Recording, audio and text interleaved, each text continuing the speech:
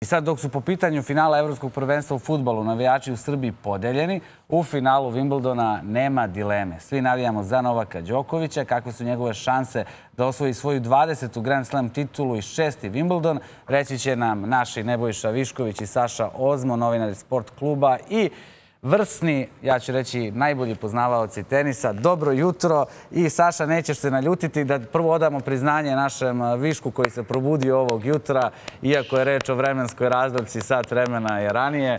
Čitavih debelih sat vremena više čitavih sat vremena više još u jutarnjem ovom terminu. Gospodine Viškoviću, hvala vam najlepše što ste poranili Zoru, prevarili. Pa kakva je situacija u Londonu i pred finale Wimbledona, ali i pred finale Evropskog prvenstva u futbalu? Kako je biti e, ovog 11. jula u Londonu? Dobro jutro, e, Saša. Nekada je sat vremena jako, jako velika razlika i meni ovog jutra to jeste velika razlika. Ovaj, e, pozdrav svim gledalcima, naravno i tebi Danilo i Saši. Pa, zaista je London centar sveta danas u sportskom smislu. Ovaj, dva toliko velika događaja u istom danu. E, inače se svake druge godine uvek dešava da se finale Wimbledona poklopa sa finalem ili evropskog ili svetskog prvenstva, ali sada se desilo da se održavaju ta dva takmičenja u istom gradu. I zaista sve je znako sporta. Kada upalite TV, isključivo se priča o, moram da priznam, ubedljivo e, zapravo mnogo više o futbolu, jer trenutno je potpuna ovaj, futbolska euforija u Engleskoj i pokušavaju da prvi put u istoriji postanu prvaci Evrope i zaista a, apsolutno svaka emisija je posvećena ovaj, upravo tom događaju. A, Wimbledon je nekako u drugom planu, a, da je neki Britanac ovde, onda bi svakako imao veći značaj za njih, međutim ovako ovaj, manje se priča, moram da priznam o Wimbledonu i zapravo evo sa italijanskim kolegama sa kojima se družimo ovde na sport klubu, oni onako najviše trepere pošto je ovo zaista jedan potpuno specijalan dan za italijanski sport. Javio nas naš kolega Željko iz Rima i upravo rekao isto to što sam ti sada ponovio, da je ovo vrlo, vrlo poseban dan za sve italijane. Samo bih voleo da prokomentarišemo još nešto. Na društvenim mrežama Nebojša pojavila se, pojavili su iskazi Novakovih navijača koji tvrde da su tokom meča sa Šapalovim oduzimane srpske zastavice, iako su bile dozvoljenih dimenzija. Postoji li zaista toliki animozitet prema Novaku? Da li postoji i ikakva istinitost u ovim tvrdnjama? E, pa, ne, ne znam zaista, znam za taj slučaj naravno. E, znam da su e, zaista Britanci jako striktni kada su u pitanju dimenzije zastava. I ranije se dešavalo da se zamole nema oduzemanja zastava, naravno to nije ovaj, futbolska tribina, nego se zamale gledalci da sklone te zastave.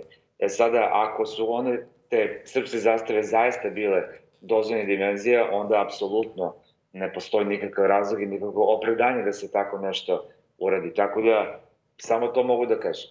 Sad, Saša, današnje finale i mi ovde tokom celog jutra nazivamo istorijskim. Pa šta bi za Đokovića značila ta šesta pobeda na Wimbledonu?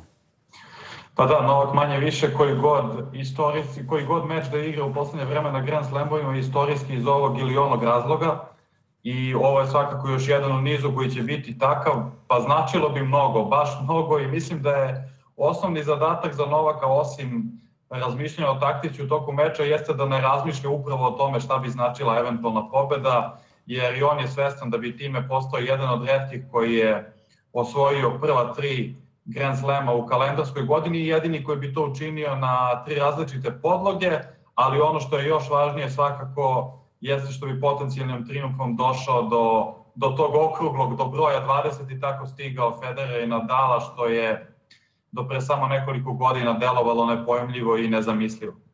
Stručni saradnik Eurosporta i nekadašnji teniser eh, Mats Wilander siguran je u pobedu Italijana. On kaže, citiramo, da na travi zna da sakrije svoje slabosti. Saša, slažeš li se ti sa njegovom ocenom Novakovog protivnika? Uh Beretini je odličan igrač, ali mislim da je, mislim da je Vilander rekao da će Beretini jednog dana biti Grand Slam šampion. Nisam siguran da je prognozirao njegovu pobedu danas. U svakom slučaju Beretini ima igru, na, igru za travu, apsolutno. E, servis, forehand, kombinacija 1-2, to je momentalni napad, to ima možda i najbolje na svetu. Uz Cicipasa i ono što će biti jako važno danas jeste Novakov return, koji je najbolji svih vremena, ali koji nije funkcionisao u prva dva seta sa Šapovalovom ukoliko return bude na nivou, mislim da nema zime za Novaka i on svakako jeste favorit. uzamo se i u iskustvo koje je apsolutno na njegovoj strani igra 30. Grand Slam finale, Beretini će sigurno biti malo nervozan koliko god da je u seriji pobeda i koliko god da je u naletu. Ne može to da se ne oseti i ukoliko Novak uspe danas da, da pobedi, to bi bilo još jedno novo, što kažeš, istorijsko, monumentalno dostignuće za njega. Sad ono što je istorijski jeste Nebojša što muško finale Wimbledona prvi put u istoriji sudi jedna žena, Hrvatica Marija Čičak. Sad me zanima šta misliš o tome. Kažu da je poznata po gafovima. Mi je pamtimo uh, nakon suđenja na meču Viktora Truickog, drugo kolo Australijan Opena 2017. godine protiv uh, Lorencija. Šta, šta možemo uopšte da očekujemo od suđenja ili previše pažnje pridajemo tome?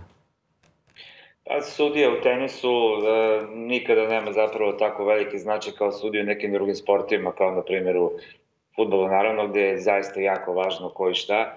E, sudije u stolici u te, na teniskim mečevima vrlo često prođe čita meča da zapravo nemaju uopšte posla, osim da izgovaraju ovaj rezultat meča.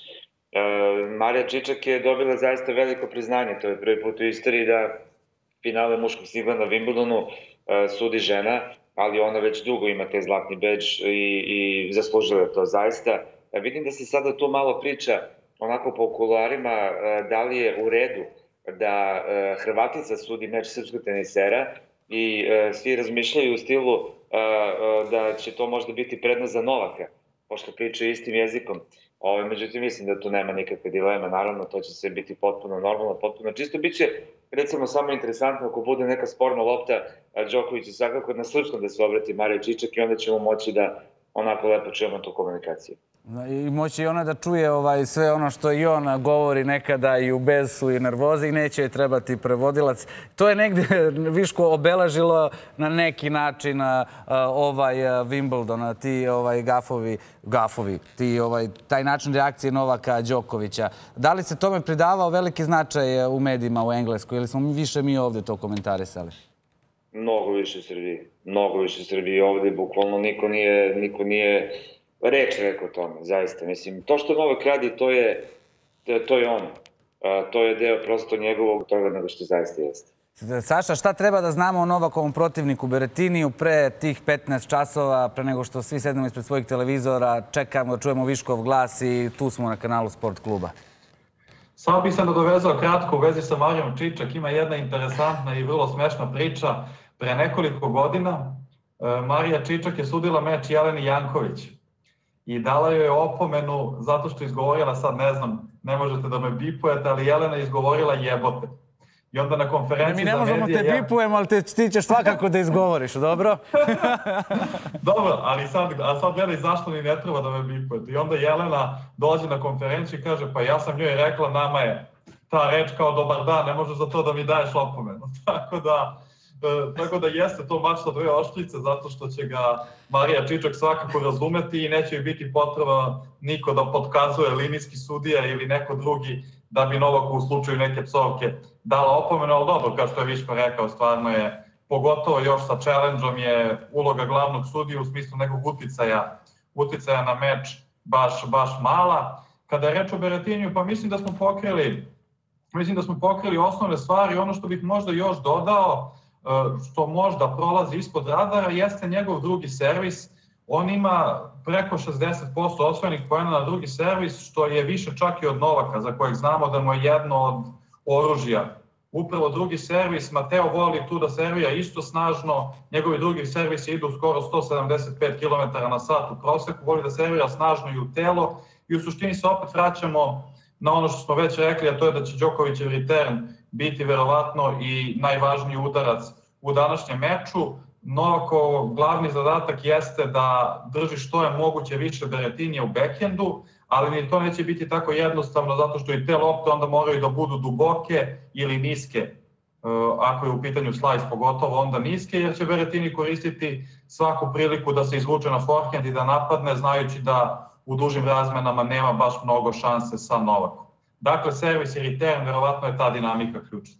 I Viško, ovaj, za kraj, zanima me kakve su tvoje obaveze u nastavku dana. Ustao si na vreme, 8 je časova i 29 minuta kod tebe u Londonu. I kako izgleda tvoj radni dan kada je finale Wimbledona? A, ne ustao sam pre vremena zbog tebe, Danilo.